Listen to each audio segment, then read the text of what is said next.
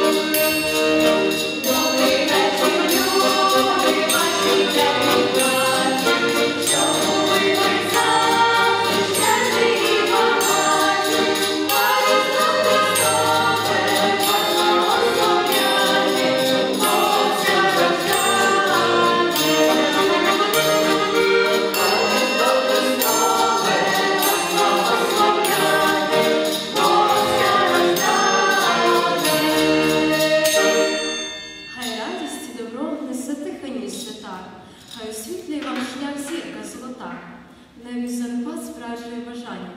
Щастя вам, веселих свят, миру і